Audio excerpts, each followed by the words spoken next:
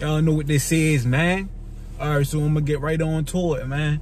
So I did a uh, meditation recently. Well, first off, let me start by saying I got a uh, I got two new statues for real. I got an Osiris statue and I got a fucking uh Isis statue for real. But so and I got uh the Egyptian, I got the uh Book of the Dead or whatever. The Dead Book of Going Forth by Day or whatever. I got that. So I've been reading the book. I've been reading it for real. It got like a translation and interpretation of the text and all that in there. And then like I read that part and then I look at the hieroglyph and see if it ring true to what the hieroglyph is saying to me. So that's how I've been doing dealing with that book for real. And I've been doing my meditations and shit. So I was doing a meditation like was this this is probably yesterday now that I was doing this meditation and like I've been dealing with trying to uh, build my astral body and shit, build my astral self and all that, right? With the silver cord and all that, right? So I went into this meditation like it was action packed, like an action movie. Like I'm like driving in a car, the car, my man's driving a car, and it's like dipping down this hill and shit. It's like an action movie and shit, right? I don't know. At some point in the meditation and shit, this when I first got the Osiris statue, and I know like Osiris representing me, represent me going into like the underworld and shit. Like it represent me basically, my Osirian body and all that shit. So like, all right, I'm fucking with the statue and all that. My nigga Osiris, I fuck with it and shit. So I'm doing this meditation, right? And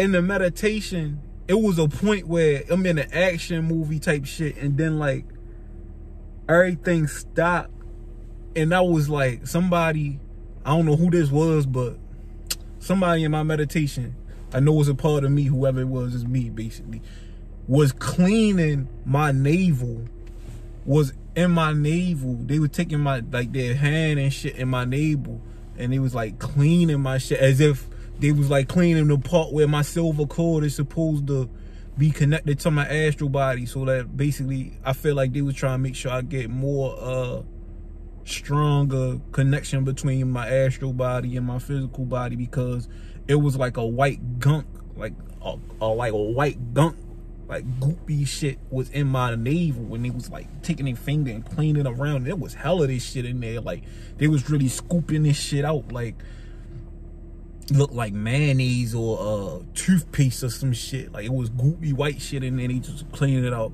cleaning it out. And I was letting him because I felt like it was supposed to be done. Like I felt like what they was doing in my navel was supposed to be done and it was helping me. So I just wanted to make a video to so I could remember this shit. Remember the part where I did have a meditation where I fucking got my fucking navel clean. My navel was being cleaned from a white goop that was in that shit. I guess where my silver cord was going at and shit. I guess that's part where they was making sure my silver cord could connect because they were cleaning that shit out like a white goop. Like white goo was in that shit and he was cleaning it out.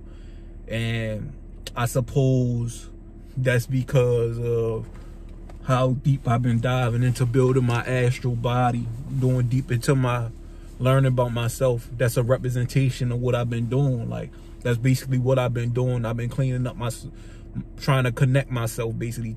And that white goo is representing they trying to, my own self. I'm trying to clean the part of my silver cord so I can connect better to my astral body and receive better back and forth messages for real.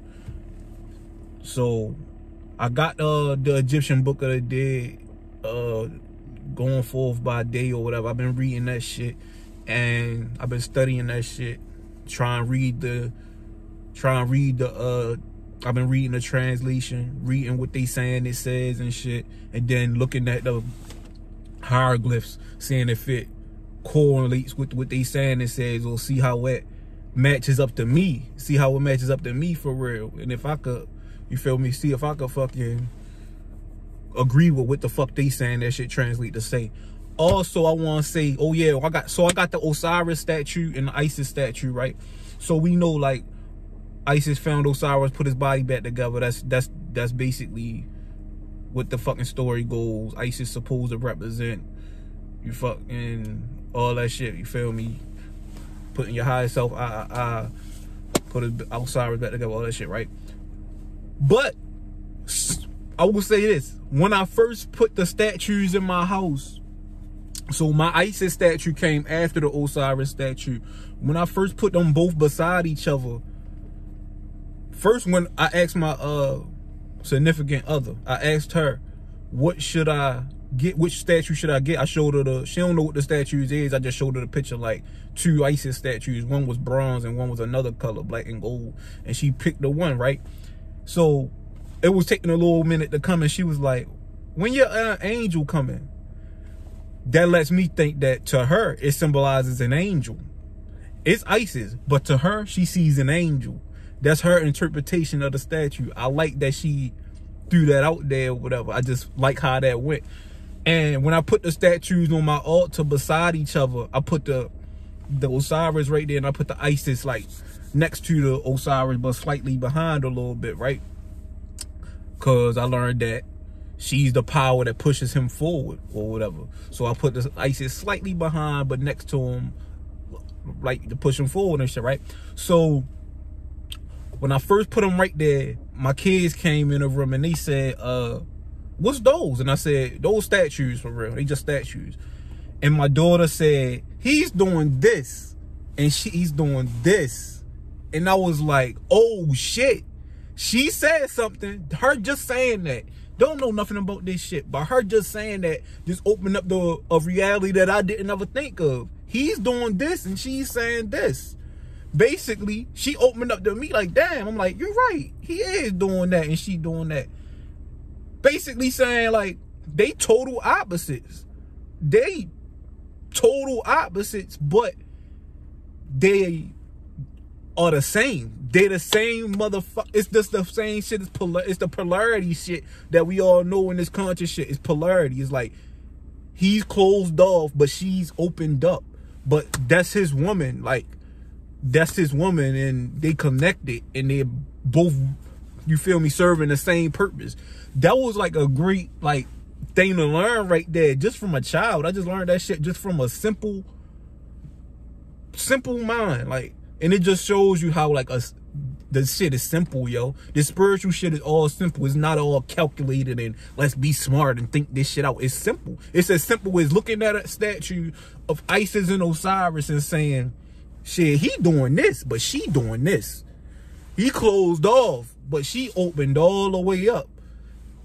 That just was crazy. Like, now I'm looking, that's how you look at them and see, see like, damn, they all one.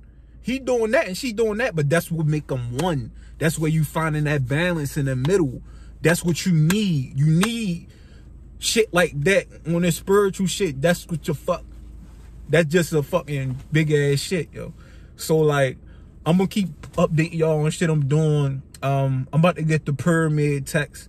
If anybody looking at this video, I'm really just doing this shit so I can remember everything that's going down with my spiritual shit. But I'm about to get order the pyramid text and a few other books. I'm gonna let let niggas know. I'm gonna update on that shit or whatever. If you watching the shit, like, comment, subscribe or whatever. I'm out, yo.